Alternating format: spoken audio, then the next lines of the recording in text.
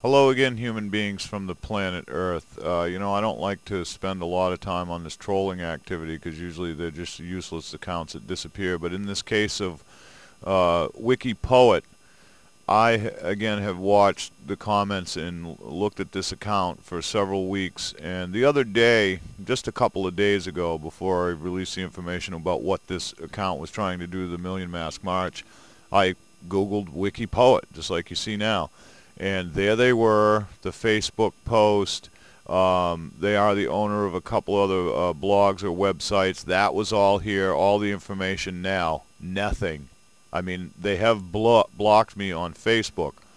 But when someone can stop me from at least seeing them in Google search results, this is proof, in my opinion, uh, beyond a shadow of a doubt that the WikiPoet account is a Fed operative. Um, there were other indications uh, they had claimed to work for WikiLeaks, and, and they are from the D.C. area according to their account or whatever.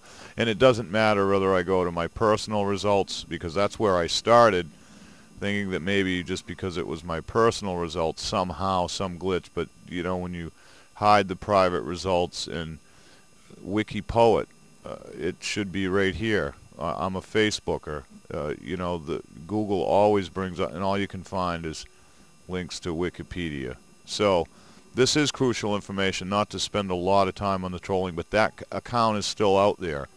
And um, I think we've made the connection. So uh, we need all hands on deck and uh, eliminate this entity as far as I'm concerned. Much love, many thanks, and I'll see you soon.